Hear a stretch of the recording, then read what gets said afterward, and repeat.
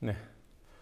예산 삭감에 항의하며 국회 정우택 정무위원장을 찾아가서 탁자를 치고 서유, 서류를 팽개쳤다가 눈물 흘리며 사과를 했다던 박승춘 국가보훈처장.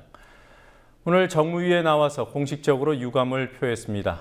문제가 됐던 한국전쟁 당시에 함경남도 장진호 전투기념사업 예산은 3억 원 전액 삭감에서 절반 삭감으로 조정됐습니다. 한 야당 의원은 이를 두고 주먹으로 꽝 치니까 1억 5천이 생긴 것이라고 지적했습니다.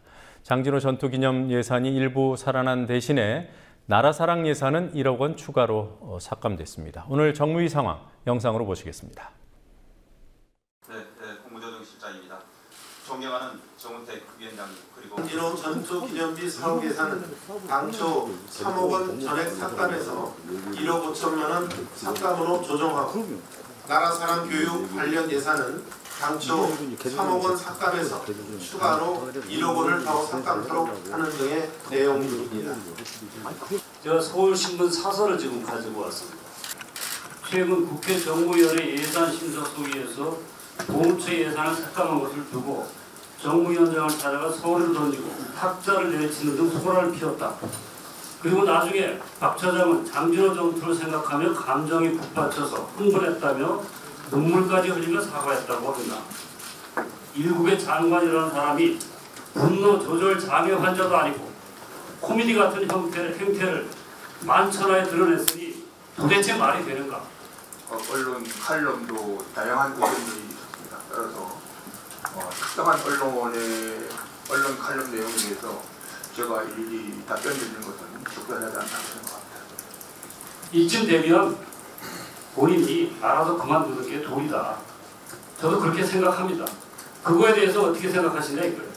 공직이라는 것은 국가가 부여하는 거라고 생각합니다. 따라서 제 개인적으로 여기서 어, 제 거치에 대해서 말씀드리는 것은 적절하지 않다고 생각합니다. 국회의원 스스로들이 창피하고 국회가 모멸감을 당한 것 같아서 다 쉬쉬하고 듣고 있었어요. 그 사이에 박순 처장은 기분이 좋았죠. 내가 주먹을 한 대 치니까 1억 5천만 원이 생기더라. 국회의원 이 저 정무위원 2, 30명 내가 다 해본다. 그런 오만 방자한 생각을 갖고 있는 거 아닙니까? 저는 사람은 누구나 실수할 수 있다고 봅니다. 하지만 그 실수가 가- 계속 반복되는 것에 대해서는 지탄을 받을 수 있다고 봅니다. 또 이러한 실수가 반복되지 않도록 어, 특별하게 네, 처신에 신중을 기해 주실 것을 위원장으로서 다시 한번 강조해 말씀드립니다. 바쁜 일정 중에서도 깊은 관심과 이해를 가지고 수고하셨습니다. 다음 신재윤 금융위원장